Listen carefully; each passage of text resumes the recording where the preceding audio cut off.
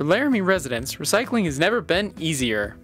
The City of Laramie and Waste Management have teamed up to provide single stream recycling services.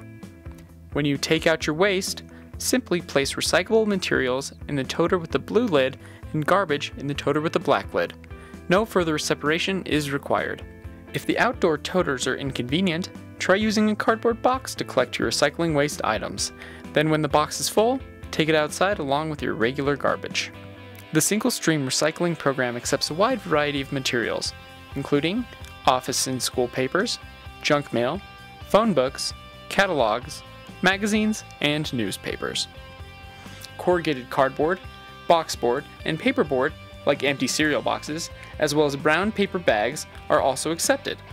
However, pizza boxes cannot be recycled if they are contaminated by food waste, like grease and cheese. Cans made out of steel, tin, and aluminum, as well as metal caps, lids, aluminum foil, and aluminum food trays, can also be recycled.